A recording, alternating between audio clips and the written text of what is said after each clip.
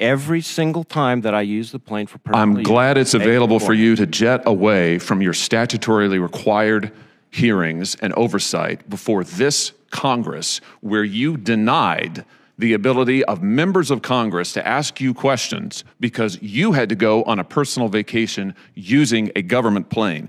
Let's just look at some of the things while you've been vacationing that your FBI has been doing. According to numerous whistleblowers who have come forward to members of this body, to members of the House. The FBI has been sending more than, in one instance, a dozen, when in fact, the stats are being padded by political directive in your office. They also say, these whistleblowers, the DC leadership deliberately suppressed investigations into Hunter Biden, contrary to FBI procedure, and have also retaliated against FBI agents and whistleblowers who have contacted Congress, which, by the way, they are protected by statute to do so.